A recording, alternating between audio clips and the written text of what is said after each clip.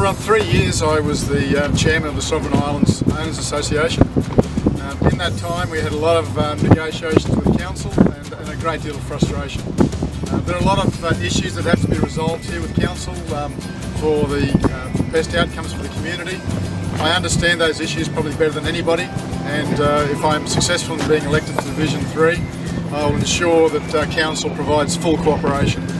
Uh, one of the areas that we uh, are particularly frustrated with is um, the care of the, um, the Phoenix Palms. Um, for over three years we asked uh, for the consideration of having a, a specialist um, garden contractor. Uh, that's just fallen on deaf ears year in, year out. Um, we've had palms die, we've had replacement palms die, and the problems just continue. So, uh, you know, tens of thousands of dollars worth of public money wasted um, just through um, really poor administration. So uh, a lot of things need to change. Uh, we've got to manage our money very wisely at Gold Coast City Council. Uh, unfortunately, um, uh, Gold Coast City Council has a reputation for um, for spending money fairly uh, unwisely in areas, and uh, that's something I will change if, um, if I'm the divisional councillor.